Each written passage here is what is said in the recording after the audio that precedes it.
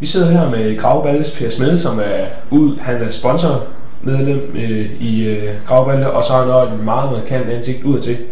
Per, øh, på Facebook her den anden, der kunne jeg læse, at øh, du håber, eller forventer, at I, I, vil, I vil nakke forvang på mandag. Kan du lige prøve at uddybe det lidt? Ja, det kan jeg godt. Altså nakke er jo sådan et lidt, lidt, lidt slemt udtryk, ja. men altså, det handler om, at vi skal slå forvang på, på mandag. Det er meningen i det. Mm-hmm. Og øh, andet er der ikke i det. Nej. Nu er der jo en stor rivalisering mellem de to klubber her. Øh, Hvis du lige skal tage hånden på hjertet, er et hold, du egentlig ser for at svinde ud af serie 3?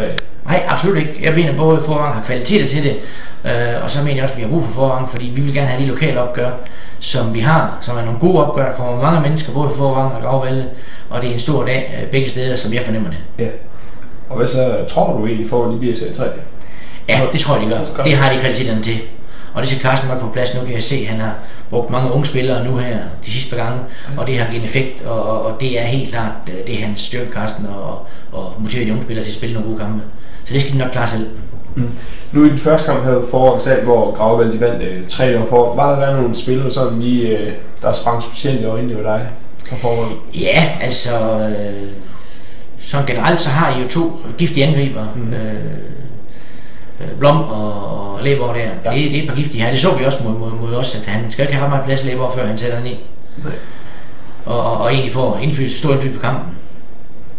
Ja, øh, I Gravvald har jo en målsætning om, at I oppe i C2 ligesom foran, I skal dog være det ved øh, udgangen af 2011, og nu, øh, I kan ikke nå det i den her sæson, men øh, I har en sæson mere til at, en halv sæson mere til at nå det. Hvordan ser muligheden for det går i opfylde det? Jamen, dem ser jeg som gode, fordi at uh, sæsonen nu her er kørt for vores vedkommende. Vi skal bare slå pænt af og, og, og vinde de sidste tre kampe. Og det tror jeg på, at vi kan, fordi vi, vi kan sætte en stærkeste opstilling. Uh, og det gør vi også. Uh, vi vil, jeg vil blive meget overrasket, hvis vi går op i C2, når, når efteråret det er slut. Uh, dels har vi nogle tiltag og sådan noget, som, uh, som gør, at vi bliver sandsynligvis forstærket uh, fra sommerferien af. Mm. Uh, og vi, vi har et godt hold. Vi har været ramt af mange skader her i, i vores forårsstart, som, som jeg nævnte for dig før. At øh, syv mand øh, til opstart var væk, øh, og det har selvfølgelig haft en, en, påvirkning af holdets styrke. Så nu siger du, at øh, ja, I kan ikke nå at rykke op, men øh, har I levet op til forventningerne her i jeres debutsæson til 3? Øh, principielt ja, har vi, fordi målet var ikke at rykke op øh, her i den første sæson, så det var at stabilisere sig og blive der. Og, og vi kom jo øh, skidt fra starten med to, to øh, et uafgjort og, og, og nederlag. Øh, så man kan sige, vi presser meget på os, hvis vi, hvis vi vil rykke op. Vi har egentlig sammen med Thomas og Carsten som er træner, har vi jo lavet en målsætning her, hvis vi, hvis vi skal sikre os i, øh, i øh, Serie 3 nu, så, så går vi selvfølgelig efter til hvis den er mulig, og den kommer, så tager vi den selvfølgelig. Men, men planen er først, at vi skal op til efteråret. Yes. Nu var der her for noget tid siden en, en debat om noget, der hedder FC Sovnfri nede i Brastrup-området, øh, og det gik ud på, at FC Sovnfri de betalte deres ungdomsspillere for at spille fodbold med dem, og du øh, var sådan en omkring at støtte op om de holdninger der lidt. For og lignende ting i Gravballe, det var jo betaling. Altså, jeg kan starte med det første at sige, at øh, jeg har været med i den debat, og jeg synes, de har gjort det frisk, øh, FC Sovnfri.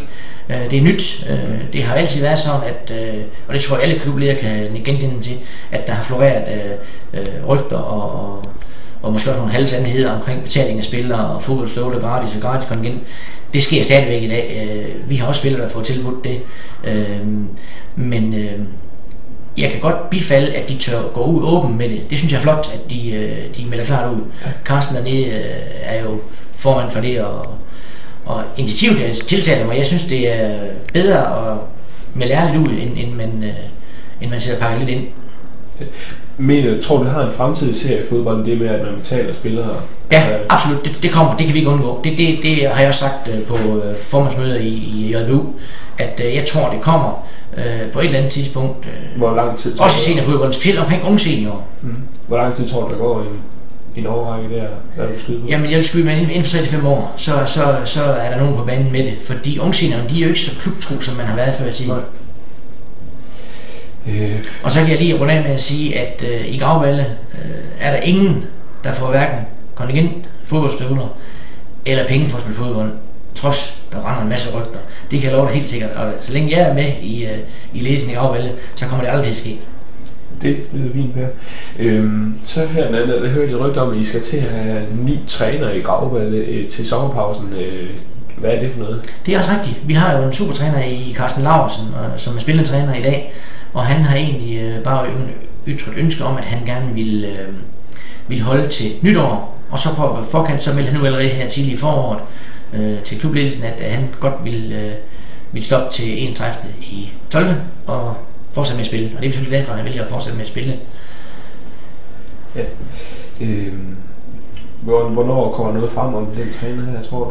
Vi holder et pressemøde den 16. juni, øh, og tidspunktet bliver, bliver offentliggjort senere, øh, hvor vi præsenterer den nye træner Yes. og eventuelt nye spillere, hvad der måtte komme. Nu øh, så jeg godt tænke mig at høre, øh, Gravballe, I har et fem hold, der kæmper for at redde livet i deres række. Ja. Øhm, stiller jeg ved jeg ser tre, stiller I med det stærkeste hold i sidste kamp, eller tre? Ja, det gør vi. Det gør I. Altså principielt stiller vi altid for at vinde en kamp, uanset om vi spiller i C5 eller spiller i C6. Så vi stiller med det stærkest mulige C3 hold i, i de sidste tre kampe. Øh, det gør vi, og, og går efter at få 9 point. Og nu øh, tilbage til serie 3. Foran, de ligger og kæmper nede i bunden med Låsby. Nu er de godt nok kommet 5 point foran Låsby, Ja. i og med, at de vandt i, øh, over, i lørdag, over i lørdags. Men I har faktisk Låsby i den sidste kamp. Øh, er I foran behjælpelige med at slå Låsby, eller er I gået på sommerferie til den tid? Jamen, vi er ikke nogen behjælpelige. Øh, mit udgangspunkt er, at, at Forvang klarer selv det her, og, og det er jeg overbevist om, de gør, for de har et godt hold, og de har en god træner. Så det, det ordner de selv med tre point, så er det lukket. Øh, det er afgjort, at vi skal spille mod, mod, mod Låsby, men vi slår Låsby, det er jeg helt overbevist om. Yes. Og så øh, kampen. Nu er anden dag. Gravballe foran i Gravballe. Lige et bud på resultatet og eventuelt målscore i den kamp. Hvem kunne det være? Jamen, det er jo vores dejlige lokale opgør, som vi skal Ja. have, og det ser vi frem til i Gravvalde også. Det håber også, vi gør her i forvejen. Men øh, hvem der lige frem scorer målen, det er svært. Vi har nogle, vi har nogle gode angriber. Mm. Øh, i Nibu og Patrick og Jesper Smed og, og Tas, som også... Øh, vi har fire gode angriber, der, der, kan, der kan lave målene. Men, men øh, dem bagfra kan jeg også... Altså, øh, det, det, øh, det, det er svært at sige, hvem der scorer. Vi spiller jo egentlig som hold for at komme hurtigt frem på banen, og, og så få nogle lavet afslutninger. Men hvem der afslutter, det er ikke altid lige... Det er afgjort forhånd. Ja. Men øh, hvis du lige skulle bud på resultatet bare kort, hvad tror du så? Jamen, øh, det er altid tæt opgør, når vi møder forgang, og jeg vil mene, øh, hvis vi kan vinde 2-1, så vil jeg være, være glad for det. Øh, jeg tror, vi holder forgang for at score. For det er, det er på giftige drenge, der er foran, det er vi nødt til erkende, og, og jamen Carsten og, og MP, de skal nok lukke af nede bagved, hvis de kan. Mm. Dem har vi altid slået os på, jo. Øh, og så lige sidst ordet, det er frit. Jeg ved ikke, om der er noget, du øh, lige vil sige her. Jamen ikke andet, jeg synes det er dejligt, at man har de der lokale opgør, som sagt, det betyder meget, øh, også fordi det er gamle gerne kommune, øh, og så synes jeg, at man skal gøre meget ud af at stoppe de der, øh, hvad skal man sige, lidt fnid og fnad, der er en gang imellem, fordi det, det gavner ingen. Lad os samarbejde, og, og så få noget fornuft ud af det. Yes. Per, det var rigtig pænt dig, at komme til form i dag. Vi ses på mandag i Gravballe. Selv tak, god kamp. Tak.